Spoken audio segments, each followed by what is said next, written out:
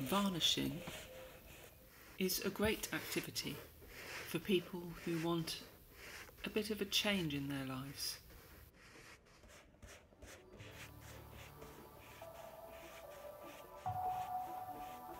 But maybe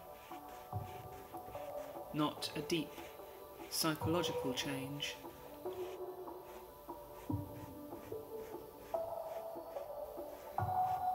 Or a widespread socio-political change.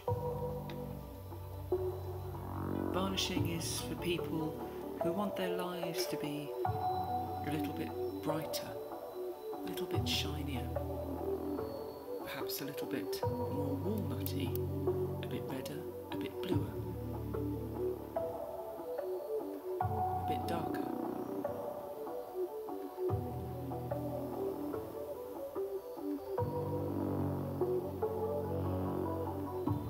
It's for people who only really want a surface level change.